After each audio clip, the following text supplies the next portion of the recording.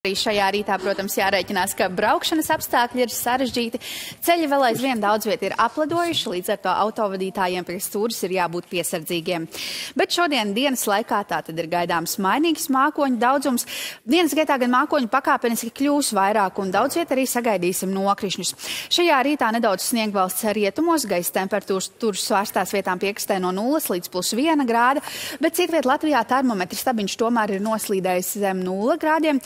Un un visaugstākais laiks ir Latvijas austrumos.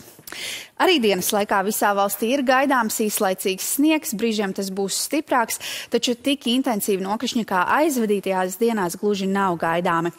Gaisa temperatūra šodien no 0 līdz mīnus 5 grādiem piekrastē brāzmains vējš un arī Rīgā. Ik pa laikam gaidāms sniegs un temperatūra būs ap mīnus 3 grādiem.